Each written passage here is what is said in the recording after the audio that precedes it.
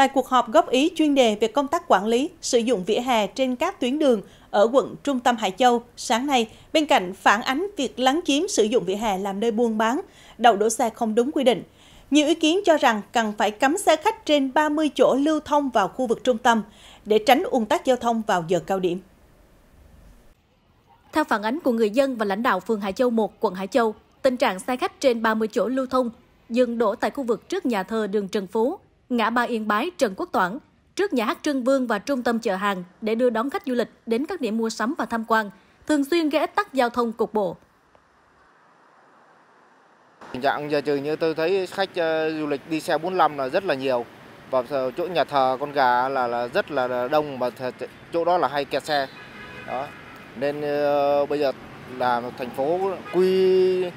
ra một cái chỗ bãi xe nào đó để cho ờ, khách đưa trung chuyển lên trung tâm. Dạ. Chứ giờ trừ như uh, điểm du lịch mà cứ ờ, cấm xe mà lại cấm cấm không dứt khoát là là nhiều lúc cũng khó. Theo lãnh đạo phường Hải Châu 1, địa phương đã nhiều lần ra quân đẩy đuổi, không cho dừng đổ tại các đoạn đường nhỏ hẹp, gần ngã ba, ngã tư, tránh gây ủng tắc giao thông. Nhưng về lâu dài, kiến nghị thành phố cần có chủ trương cho xe trên 30 chỗ vào bến cảng sông Hàn hoặc đường Như Nguyệt, quận Hải Châu dừng đổ, dùng phương tiện nhỏ trung chuyển khách vào thành phố. Hiện nay là cái tình trạng là xe khách vào những cái giờ cao điểm rất là đông, thường là 4 năm năm chiếc. Và tuy nhiên là cái đường phố thì hiện nay là cái đường nhỏ.